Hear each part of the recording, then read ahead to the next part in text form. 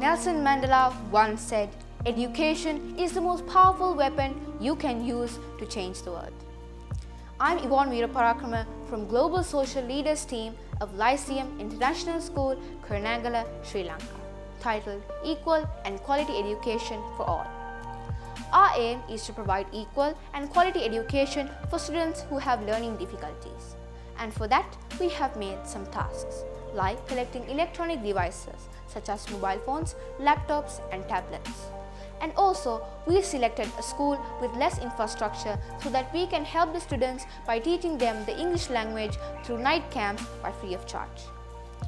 We are the challenge changers and we accept every challenge that comes our way and we face it with bravery.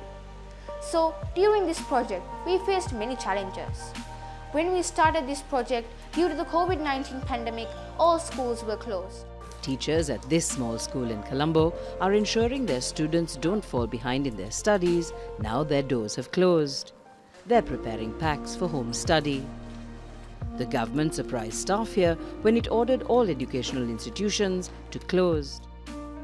So we had to keep all our meetings and discussions online. Not only that, but the activity week, book sale as well as the art competition were all challenges for us.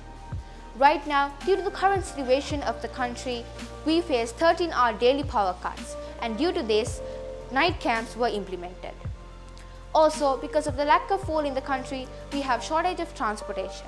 But no matter what, we faced all these problems. ටික නෑ diesel නෑ patrol gas නෑ අපහසුතාවයක් තමයි වෙලා තියෙන්නේ. කන කෑම කන්න ගත්තත් එයාමට උටස් කියලා ලයිට් යනවා. හරිම තරහක් දුකක් වේදනාවක් ඇති වෙනවා. කුප්පිලාම්බුවක් තම ඉතින් ඉස්සර තිබුණ වගේ කුප්පිලාම්බුවත් අය පත්තු කරගන්න වෙලා තියෙන්නේ.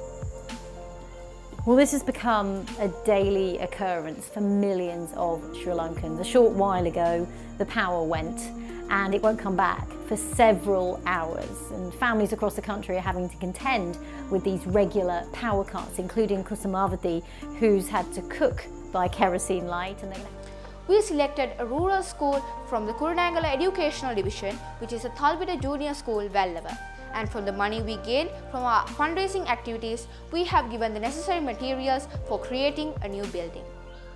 We openly welcome the parents of the school to extend their helping hand towards constructing this building because we want to see how encouraged and determined the community is on improving their education.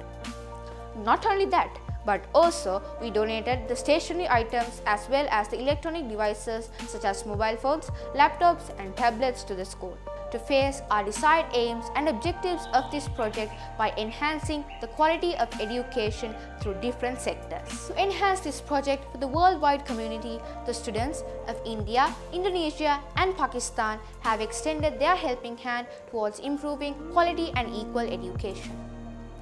From the day we started this project, we have faced numerous obstacles, but being more tactful and encourageous we, the challenge changers, were able to face our desired aims and objectives of this project by enhancing the quality of education through different sectors.